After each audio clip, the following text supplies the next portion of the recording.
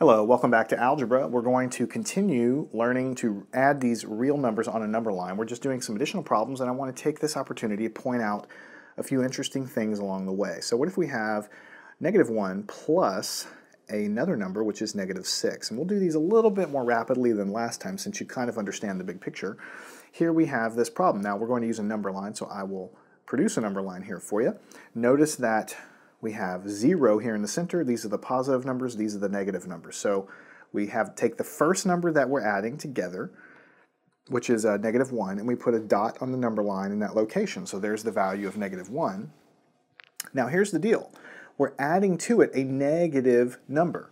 So because we're adding a negative, we're going to be moving to the left six units. So it'll be 1, 2, 3, 4, 5, 6. So let's go ahead and do that right now.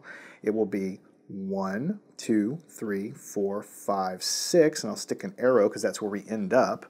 And so that's going to be a dot, a big fat dot right there. So the destination where we end up is negative 7, and because of that, the answer to this problem is negative 7. That's the final answer. So I want to point out a couple of things. You don't need to memorize these now, but as we do these problems, I'm going to show you a couple things because in the next section, we're going to write down a list of rules to help you do this kind of addition without using this number line. This is kind of just to tell you what's happening. Negative, when we add negative numbers, we go this way. When we add positive numbers, we go this way. It's a visual aid, but you're not going to use this number line for most of your problems. So notice, I just want to tell you that when we have a negative number, and we add to it another negative number, we actually get a negative answer, and that's always going to be the case. It's kind of like if you add positive numbers together, 3 plus 4 is going to give you 7, both numbers being positive, you'll be going to the right, and you'll always have a positive answer.